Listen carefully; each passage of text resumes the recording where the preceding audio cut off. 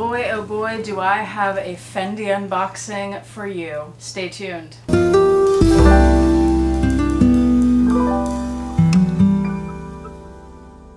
Hi YouTube, Autumn Beckman here. Welcome to my channel or welcome back to my channel. My channel is all about luxury living on a budget from high-end luxury handbags and small goods to the everyday luxuries of life.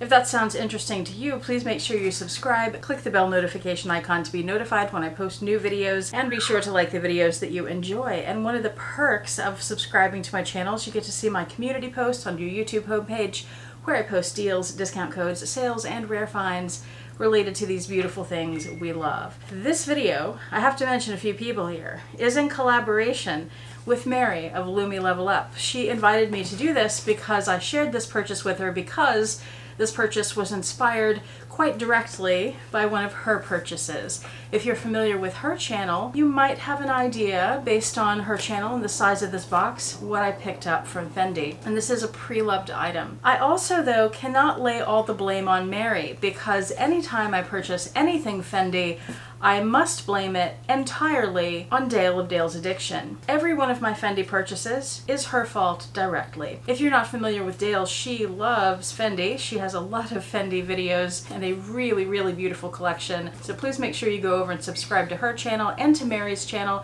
Mary is wonderful. She's going to be showing the bag that she has that's like mine but different and I believe she'll be talking about how it's held up so far for her and what she thinks of it so far. She's had hers for at least a few months. Mary is fantastic. I love her. She's in Germany. I want to go to Germany and when I finally eventually do go to Germany, I would like to go visit her. I'm not sure she knows that.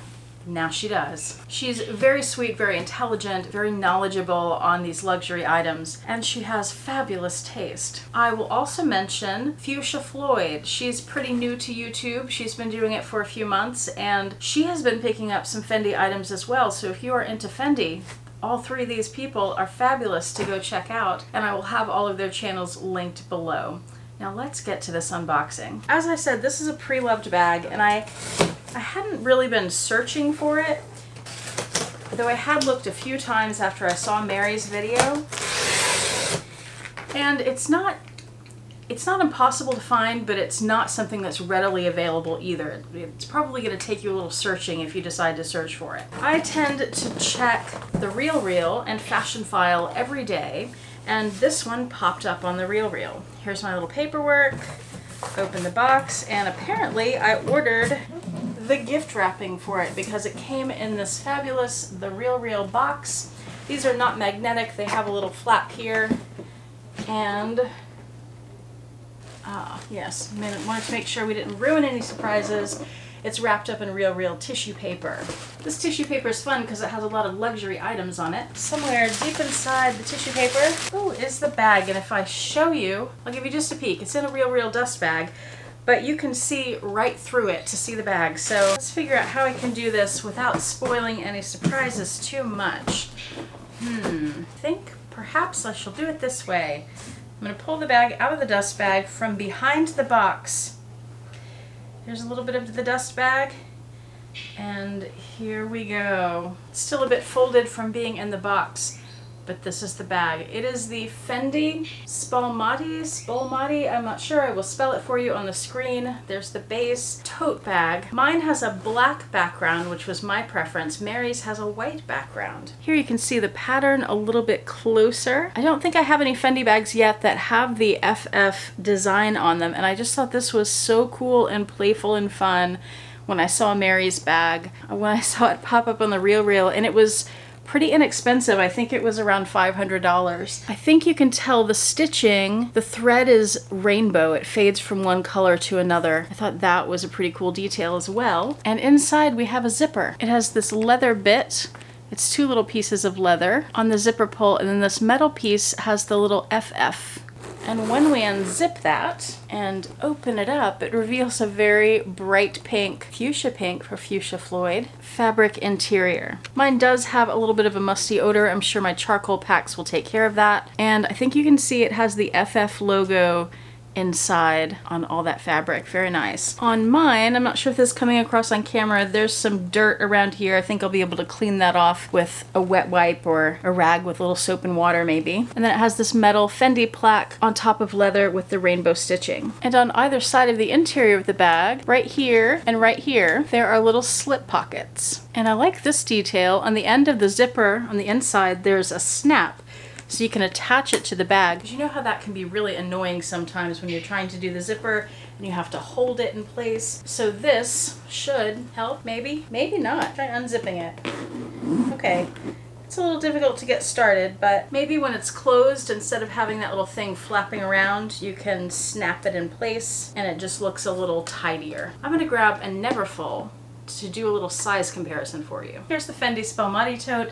Here's the Neverfull MM from Louis Vuitton. It looks like the Neverfull is slightly taller, maybe about a half an inch. The straps on the Fendi are a little longer, maybe an inch or an inch and a half in strap drop. The bags seem to be the same length on the top, when smashed together. But when we compare the bottoms, it looks like the Vuitton is a little wider, but the Fendi is a little longer. Both have thin shoulder straps. The Ebene straps are certainly more sturdy and might dig into your shoulder a little more. These are softer. Since the sizes are so similar, they'd probably hold about the same. Now I just put a few items in here just to fill it out and I'll show you how it looks on my shoulder. Here's the drop. It fits over very comfortably. Let's see if I can do that with one arm. I can, but it hits my elbow just like the Neverfull does. It doesn't feel like these straps would fall off. You know how sometimes when you have two straps, one tends to fall off?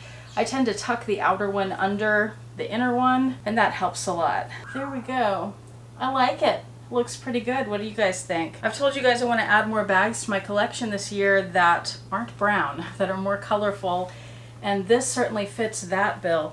I also thought this would be super versatile because it has so many colors you can wear it with a lot of different things. I'd probably wear it with solids and maybe some prints like you could do stripes or polka dots or something. I don't think I'd pair it with florals myself, but this has every color on the rainbow and a few different shades of each of those. So it's a really fun way to add some color and interest and luxury to an outfit. Looking at it closer, I am seeing some pretty significant corner wear. And as I'm looking at the corners more closely, it's not just fading. The material is actually worn through. The top layer is gone. That's not good. You can see it there and there, definitely on that corner and on that corner. So somebody really loved this bag before I did. Um, that does bother me some. So I don't know, I'm gonna think about that because I really like the bag and it's a little bit difficult to find and I got it for a great price. That's probably why. By the way, this canvas is much more smushy than my Ebene is. It's more like a coated canvas from Vuitton that's well loved, well used. Maybe because this one obviously is well loved, well used. It's a very cool, very fun bag. And that brings us to the end of the video. Thank you so much for watching please go down and check out the links for Mary of Lumi Level Up, Dayle of Dayle's Addiction, her addiction is contagious, and for Fuschia Flloyd. Thanks for stopping by. I hope to see you by next time, and I hope you have a fantastic day. Bye.